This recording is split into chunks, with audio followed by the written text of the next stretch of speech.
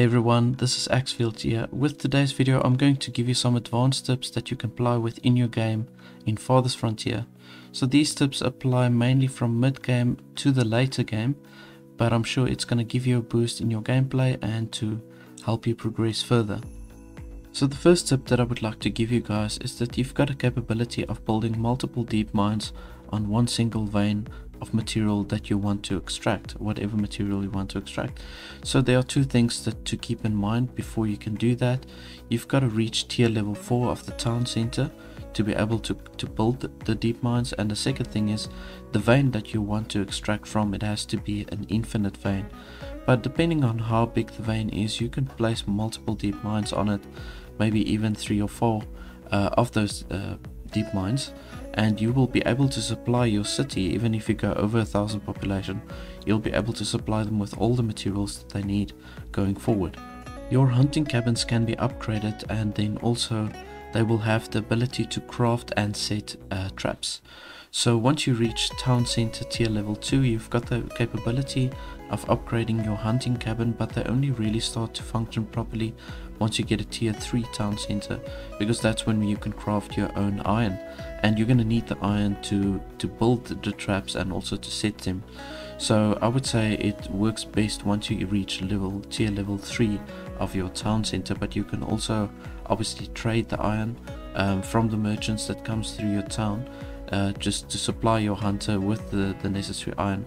But when your population gets bigger it does become a necessity to get extra meat uh, from some place because people go through food very quickly.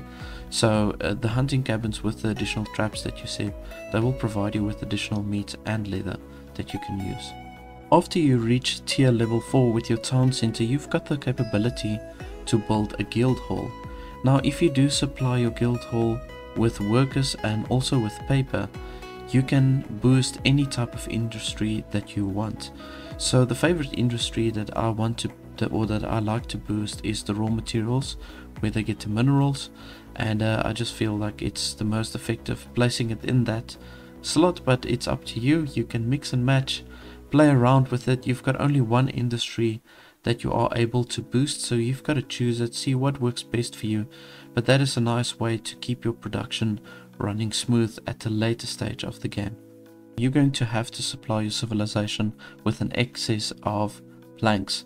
So once you get to the later stages of the game you do use a whole lot of planks to do upkeep of your buildings you do use the planks for multiple items that you've got to craft and build.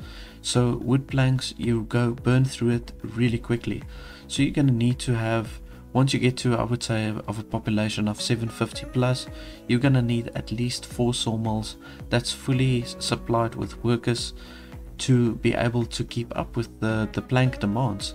Also with your wagoners you do need the planks to just build the wagons itself. So there's a whole bunch of items that you're going to need to use planks for.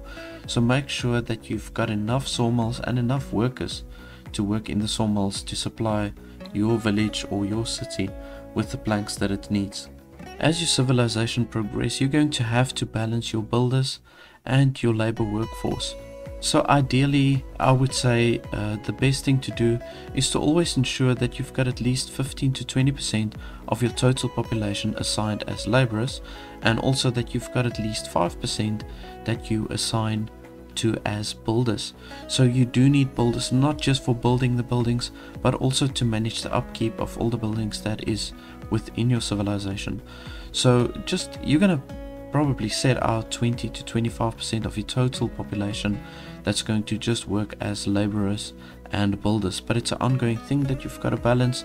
Obviously as your city grows you've got to also continuously increase the labor force as well as the builder workforce. Now one great way of how you can add laborers to your labor force is that you can go to your resource management screen by pressing R and once you are at that menu you can see all the resources that you've got available.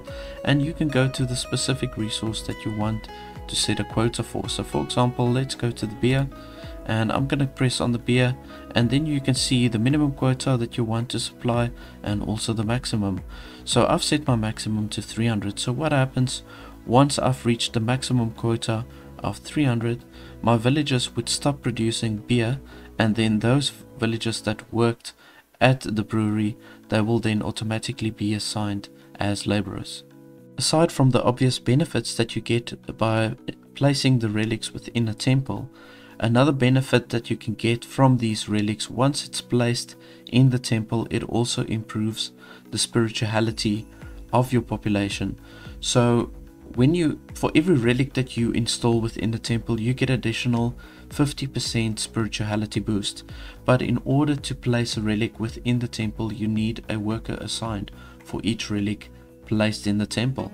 So once you've upgraded the temple you can host or hold with up to three relics. So that means you're going to need to have three workers also to manage uh, the relics, uh, so to speak. But then ultimately you'll be able to boost your spirituality up to 155, 50%, uh, which is a great increase for your village in itself. And pretty much you'll have to, you only need to place then one temple within your village to completely supply or uh, fulfill the, the spirituality need of your population. Now a great way to manage your dying villages is to build a crypt. So once you reach tier 4 of your town center, you've got the capability of placing a crypt on your graveyard. Now what's really awesome about the crypt, it's not too big, but it can host or hold up to 2000 bodies within the crypt. So that's a good way to manage, uh, I want to say the working surface. If you don't want your whole town covered with graveyards all over, over a period of let's say 100 years, you're going to have so many graveyards. So ideally it's better to place a crypt in your graveyard or multiple graveyards just to keep uh, your population not from taking up too much space just by placing graves. Well that's from me guys, there's just a few tips, advanced tips that's on the later stage of the game that you can use and apply within your game in Farthest Frontier. If you did enjoy these tips and it helped you, please do remember to press the like and subscribe button as well as the bell notification to stay updated on similar videos to these. I also do series and playthroughs so you can go check that out as well. But thank you so much for watching and I'm gonna see you in the next one. Bye bye.